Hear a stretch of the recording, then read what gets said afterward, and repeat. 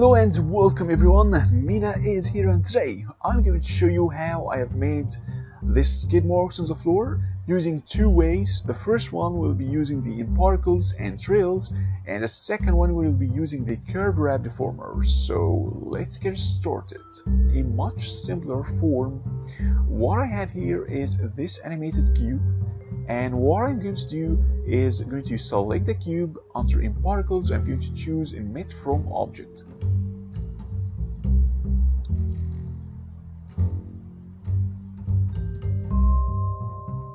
I'm going to the dynamic properties and I'm going to disable the gravity. Alright, so we want to emit particles in a certain places, not the whole way through. So I'm going to animate the emitter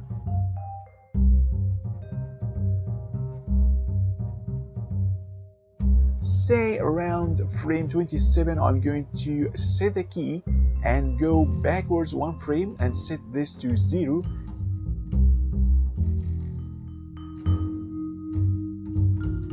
and we will be emitting to frame 35 and in, in frame 36 I will set this to 0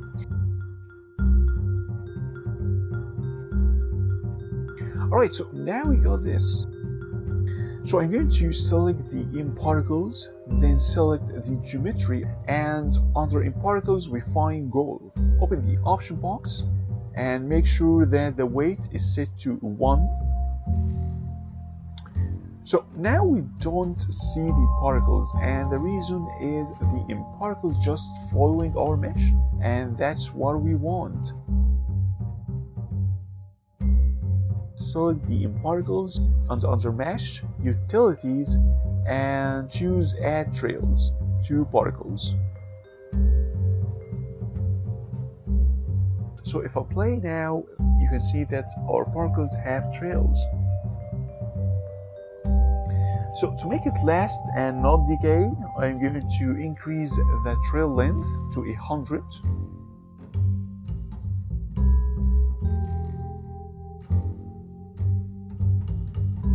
and now we can come and modify the way that they are looking by creating a NURB circle and add this to the profile curve.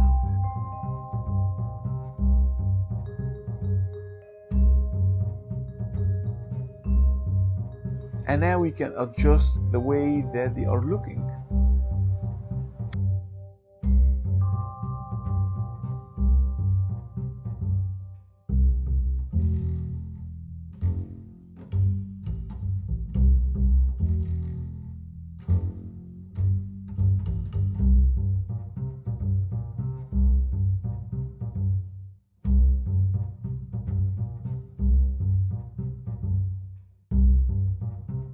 Alright, so that was the method one using the nParticles and trails. Alright, so the second way we will be drawing the curve ourselves. So we're going to create a plane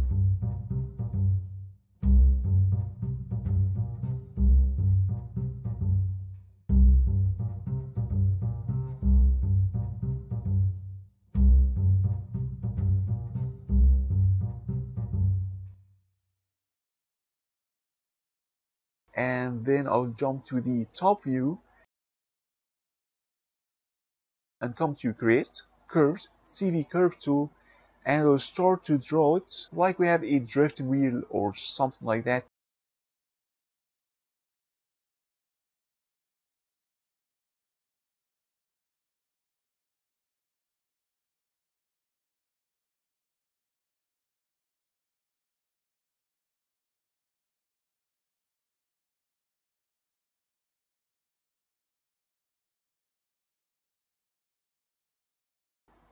After that, I'm going to select my geometry and then the curve and under deform, you can find the curve warp deformer.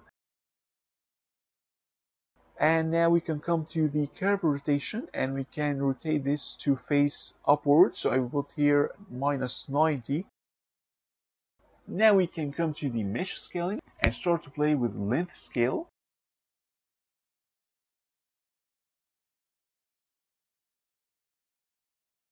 we have the offset. We don't have to start from the very beginning.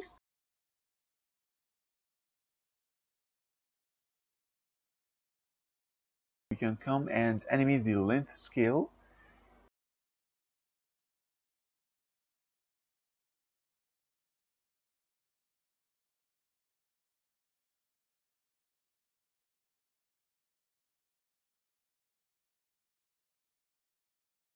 So we can come in here and start to delete some random rows.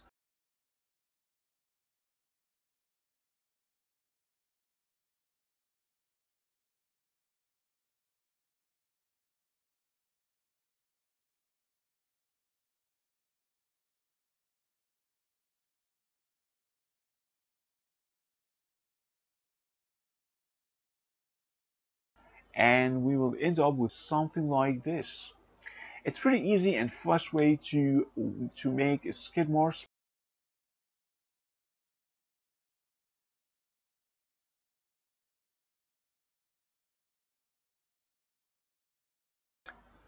Alright, thank you so much for watching. My name is Mina and I'm going to see you next time.